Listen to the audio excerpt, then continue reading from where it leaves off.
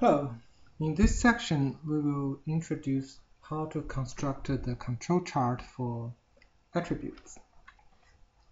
So for the attributes, they're different from the measures because for the examples of measures we see measure include the characteristics like size, weight, volume, etc etc. Usually this kind of measure, the result will be what we call the continuous variable. But for the attribute, usually it is a result from a counting process, which means usually the output is a discrete variable. But for the attributes, actually we have two charts to use. One is a P chart, the other one is called a C chart. Now, P chart will be used when observations can be placed into two categories, either good or bad, pass or fail, operate or do not operate. And when we do the calculation for the p-chart, p-chart basically is based on the percentage of failings or percentage of defects that we observed in our sample. So here p, basically we can think it stand for. On the other side, C chart should be used only when the number of occurrence per unit of measure can be counted. So C chart, the C can be considered to stand for counting. So when the result is from a counting process, we use C chart. Now we list a few examples here. So scratch, chips, dent, or errors per item, bricks or tears per unit of area. Now compare the C chart attributes with the P chart attributes. We can see there is a big difference for the C chart is C chart we see the result or the counting result actually is number of occurrence per unit of measures. So for the C chart, if we need the output, there will be a unit of measure to consider. Otherwise, well, it won't be a C-chart problem. Now, the formula for P-chart, we can see it's mainly based on the P-bar, which will be the average percentage. It will be total number of defective divided by total number of observations.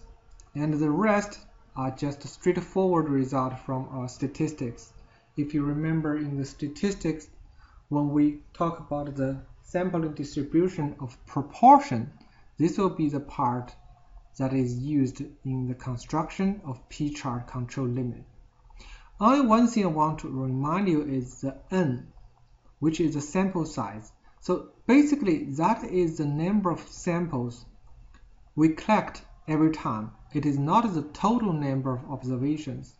Well, we will show it in a minute in the through example. For the C chart, C chart is based on Poisson distribution. The only number matters is C, which is the average defects per unit. Now here I want to remind you is, well, C is the average defects per unit. So although the output of the counting process usually is integer, However, when we look at the C, because it is an average value, so this average value actually can be a real number instead of integer number. So for example, if we have two samples and the first sample gave us five defects and the second sample gave us four defects. And when we calculate the average, it will be the average of these four and five which gave us C equals to 4.5. So this is an example to see the difference between the average defects and the counting process from each sample. Now let's take a look at an example and see how to identify which chart should be used and after the identification how to follow the formula to construct the control limit for both of these two control charts. Now, the first part asks us, an inspector found an average of 3.9 scratches in the exterior paint of each of the automobile being prepared for shipping shipment to dealers. Now here we can see we have the first identify its average. So remember, go back to what we have here. Which part use an average? So P chart is not. It is a percentage of the defect per each sample. And C chart is actually the one that has the average used. So we have an average of 3.9 scratches.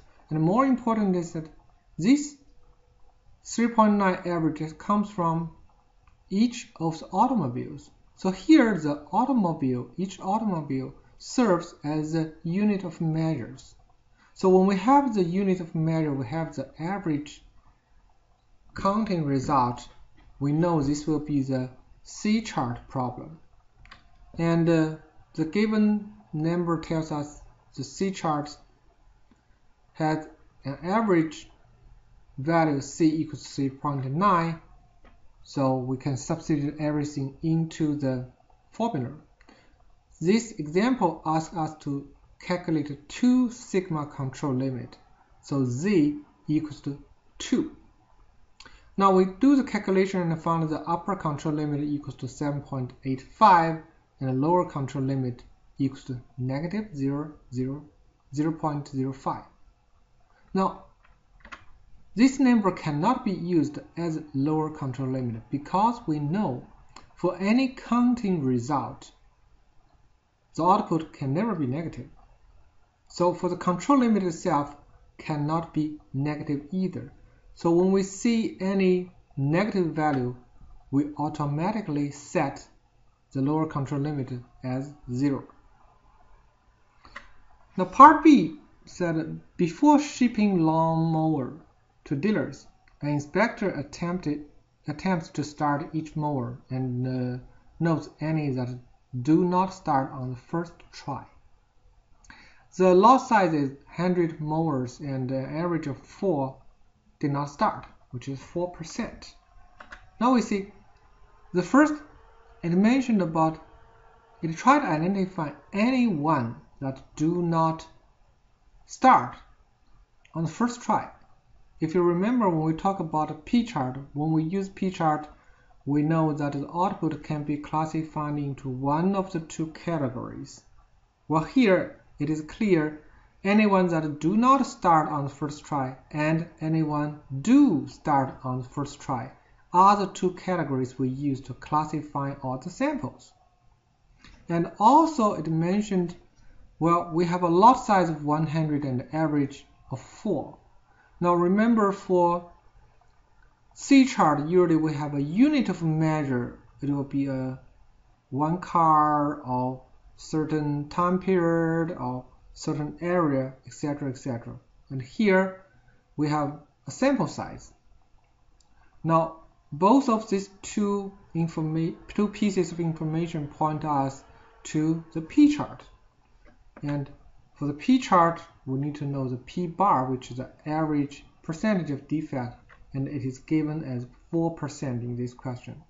So we have p bar equals to 0.04 and we calculate the standard deviation of this sample defect rate equals to 0.0196 and uh, we can calculate the corresponding upper control limit and lower control limit as shown here.